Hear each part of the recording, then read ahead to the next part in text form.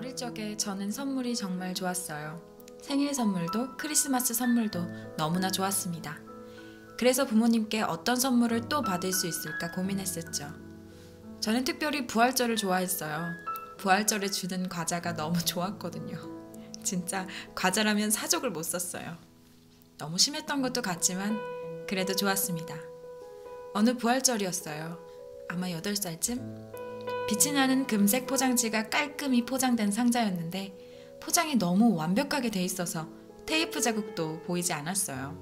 그리고 상자의 맨 위에는 잘 묶여진 예쁜 빨간 리본도 있었습니다. 저는 그게 내 것인지 물어봤죠. 아버지는 아주 특별하고 멋진 것이 들어있다고 말씀해 주셨어요.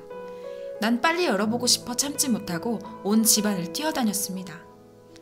드디어 부활절 아침날이 밝았고 저는 기대하는 마음으로 선물 상자 앞에 섰습니다.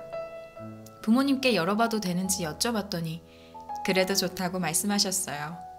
그래서 저는 재빨리 선물을 끌어안고 열어보기 시작했어요. 리본을 거의 찢어가며 덮개를 열고 그리고 상자의 안을 들여다보았습니다.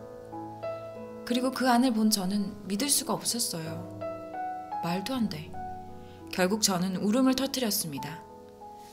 다행히도 부모님은 제가 어떤 선물을 원하는지 알고 계셨던 것 같아요.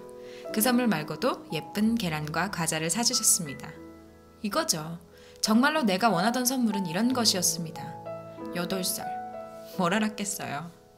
하지만 지금은 그 아름답게 포장되어 있던 선물이 제가 살면서 받은 어떠한 선물보다도 가치 있다는 것을 알고 있습니다. 더 기쁜 사실은 이 선물이 저뿐만 아니라 당신에게도 준비되어 있다는 것이에요. 여러분은 선물 상자를 열고 울지 않았으면 좋겠네요. 왜냐하면 당신이 받았던 어떤 선물보다 가장 완벽한 선물을 보게 될 것이기 때문입니다.